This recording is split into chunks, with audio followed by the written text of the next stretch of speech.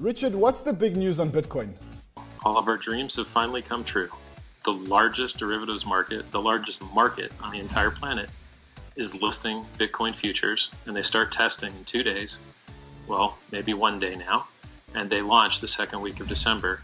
This isn't like the LedgerX launch where you have to sign up new customers and you know onboard them.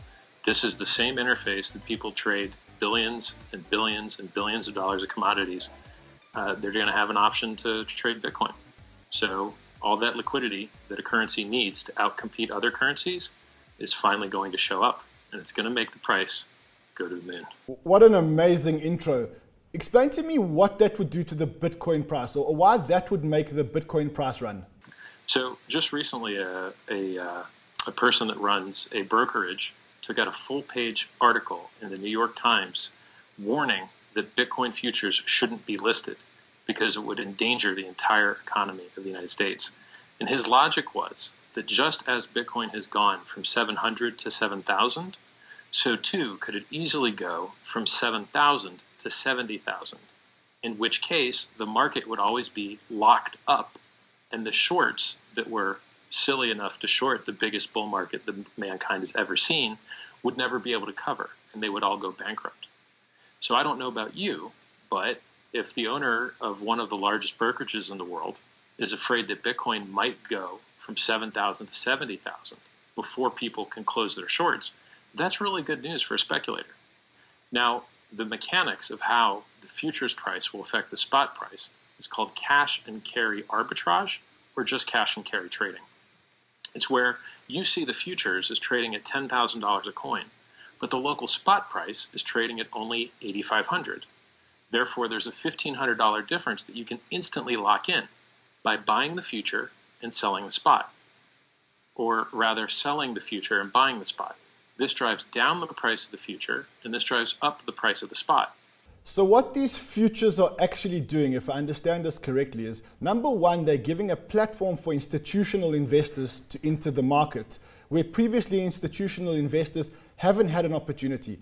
But the other thing they're doing is that they're giving a platform to people who want to speculate on the price of Bitcoin in the future. So if the price today is, say, $8,500, you can speculate by pinning a price in the future of, say, $10,000.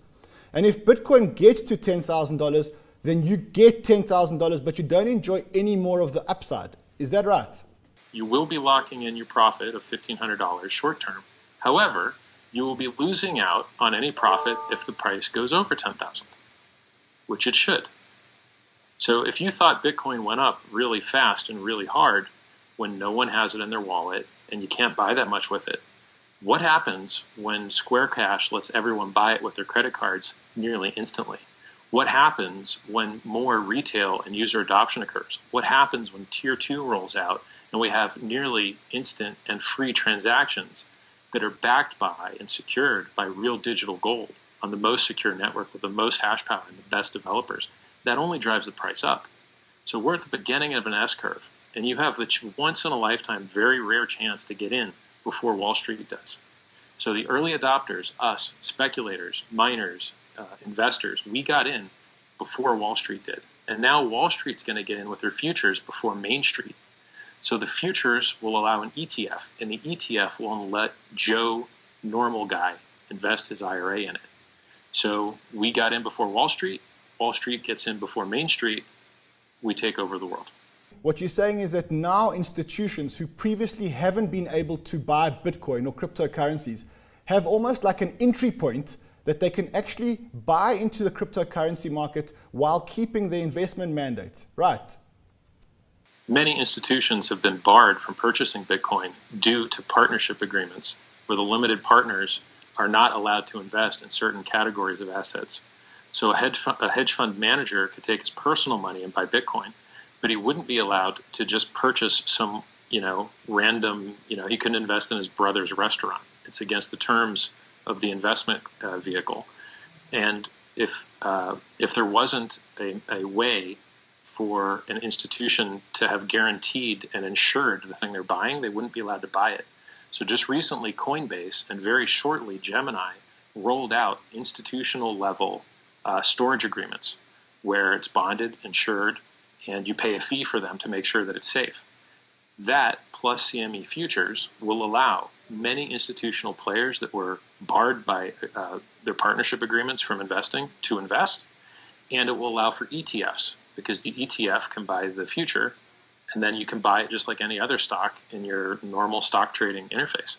It's all about the user onboarding. So just because people can buy something, unless it's easy, they won't.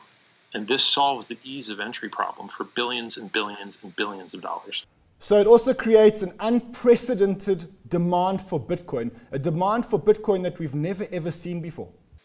If every millionaire in the world wanted a single Bitcoin, they couldn't have one because there will only be 21 million ever.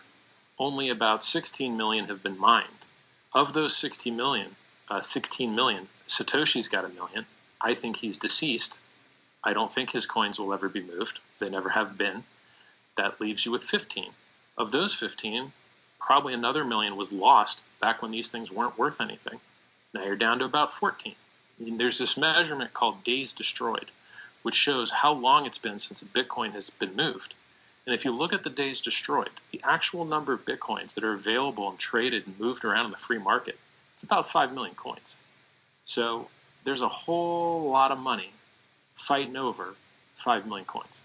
The price is going to go, in my estimate, as long as Wall Street gets in, to $20,000 by Christmas.